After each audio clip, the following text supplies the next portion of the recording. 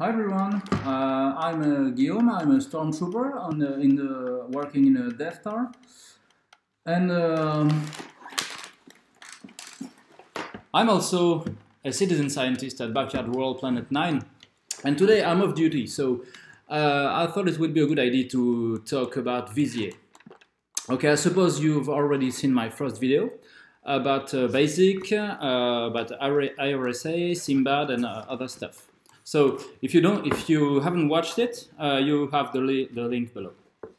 Okay, let's go into it. So uh, once you have your coordinates, uh, uh remember that you can uh, copy them and uh, plug them in the WiseView page. WiseView is a site created by Dan Caselden. It's a city, he's a citizen scientist. Uh, Stormtrooper, if you're listening, uh, don't mistake him with Darth Caselden, which uh, uh is a Sith Lord. It's uh, the same spelling, but definitely not the same person. So uh, let's copy our coordinates, and you can see here an example of a brown dwarf, a known brown dwarf, and you can see here that it's clearly moving so this is uh, this is Vizier. It's a very important uh, site um, if you are hunting uh, brown dwarfs. Uh, it's also important if you're a stormtrooper and, uh, for example, you're in charge of an uh, interstellar trip. Uh, that's the place you want to look in. So, how does it work? Uh, Vizier is a site you can access by Google, or if you're on the Backyard World site, if you're on subject, you've um, seen that there's a I button here uh, where you can access Simbad or uh, IRSA, and there's a link to Vizier. So, what is Vizier? Vizier is actually a list um, of catalogs. Uh, catalogs are um, themselves lists of objects um, that can, can come from um, several sources. Let's get back to the beginning of Vizier.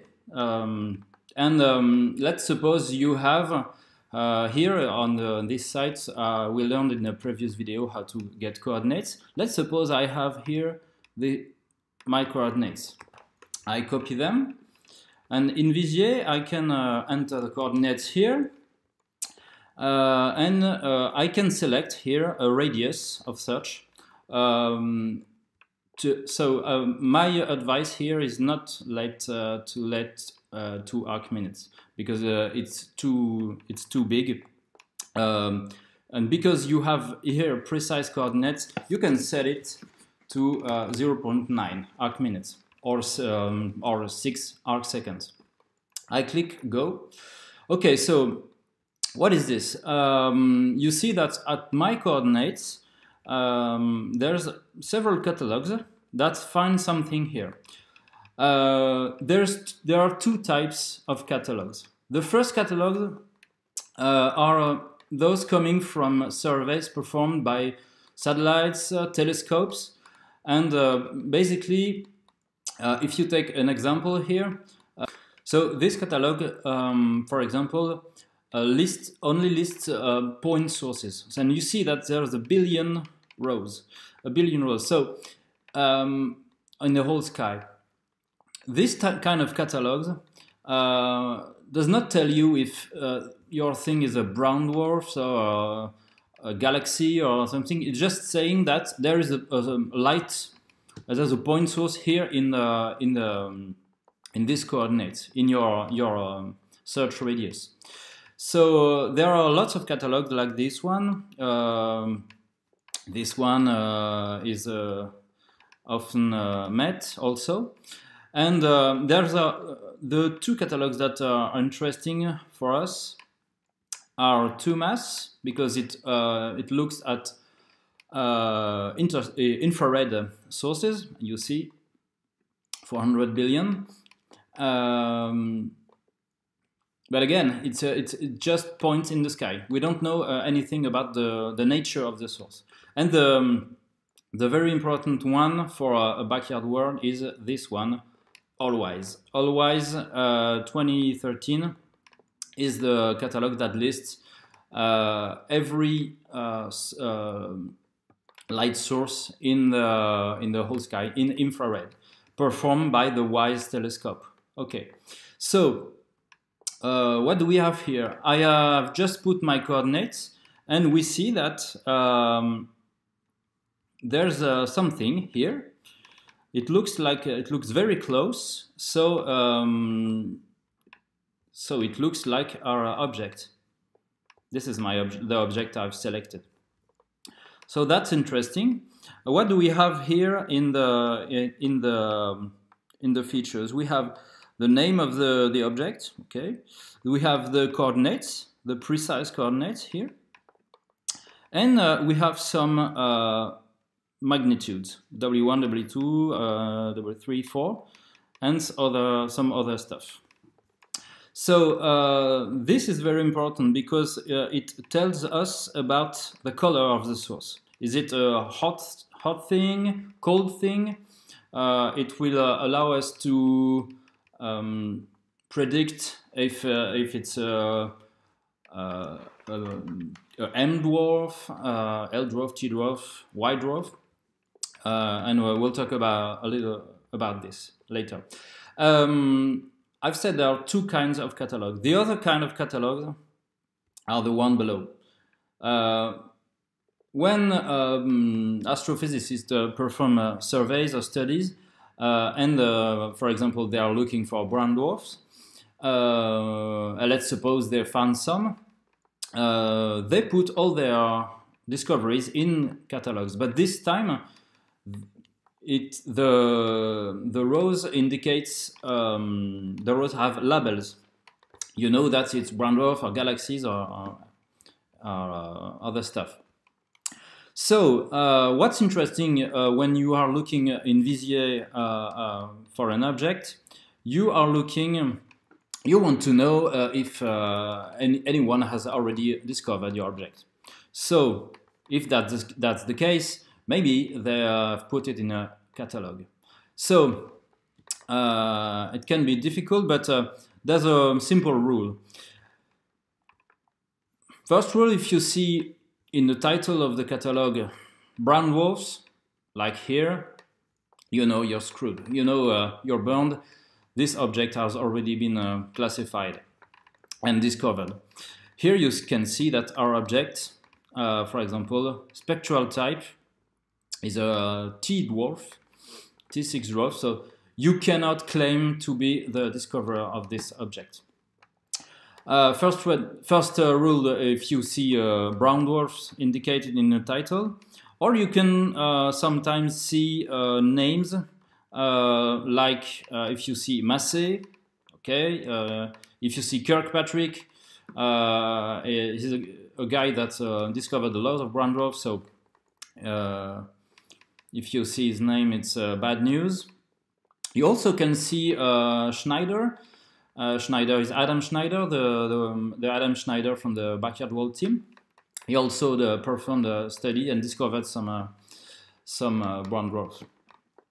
Okay. Um, oh, you see Kirkpatrick, Kirkpatrick, Kirkpatrick, Kirkpatrick. So uh, again, Massey, uh, Griffith is also um, you see brown dwarfs. Okay. In, uh, in my object, uh, I've studied this object, I've plugged the coordinates in Vizier, and I've noticed that other guys have already discovered. Okay, so um, let's try uh, another coordinates. Here I've plugged uh, another um, object I've found uh, myself. So uh, we see uh, that there's, there are the same catalogs. So you go down, down, down, down to Allwise. Here you can see that all the scary catalogs, the brown dwarf catalogs, are almost um, always below the Allwise catalog. Above Allwise, there's a, it's just basically it's just point source. It, it's, uh, it doesn't matter. If you don't see anything below, or if you don't see any catalogs indicating brown dwarfs or um, the name I've, uh, mentioned, it's a good sign. Here, uh, it's another object uh, of mine, and uh, you can see that uh, there's nothing below. So I've reported the, I've reported this object a month ago, and and uh, it's a list. It's a, right now it's a list of it's listed in um, in the um, candidate list. So um, so now let's talk about uh, magnitudes. Here in the Allwise catalogs, you see that there are uh, several magnitudes, uh, W1 to W4 and um, JHK. Uh, these are um, infrared colors. Uh, there's no, not a single infrared, but uh, several kind of infrared. and um, you see that there are magnitudes, li magnitudes listed here. So how to use this? Uh, take W1, W2, and you uh, you take W1 minus W2, and uh, um, there you that can give you an idea of the the type of your brown dwarf if it's a brown dwarf. Uh, in the blog, uh, Backyard World blog, um, I think it was one of the first article uh, by Marc. you see this graph where they plugged uh, W1 minus W2 magnitude. And you can see here spectral types. Uh, so in my case, uh, for example, we have um, uh, um, difference of 1.2 1.2 so it's here so we can predict um, roughly that uh, this object could be a T dwarf. Okay, so magnitudes are, um, that's the purpose of uh, this kind of magnitudes. Uh, Stormtroopers, uh, the Death Star has uh, W1 minus W2 uh, much, much higher. Uh, it's, I think, about 8 to 9, 8 to 9 magnitudes, depending on the, on the weather. But uh, hey, if you're a stormtrooper and you need Vizier to look for the Death Star, you are pretty stupid. Okay, that's all for now.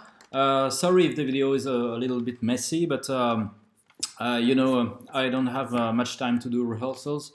Uh, we stormtroopers only have a few hours uh, break. So happy hunting everyone, and um, I'm going back to my shuttle. See you.